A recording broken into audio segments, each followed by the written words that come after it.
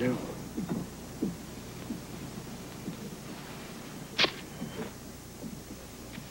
Peço desculpas humildemente pela minha ignorância, mestre. Eu farei qualquer coisa para provar o meu valor. Você andou pelos cinemas, posso ver. Cheio de misuras, caindo de joelhos. Ao menor sinal de contrariedade do seu mestre. Herói, isso não é um castigo. É uma comemoração. Você alcançou o estágio final. Você adivinhou sem ver. Nós terminamos nossa jornada juntos. Mas, mestre, o estágio final? E a aura?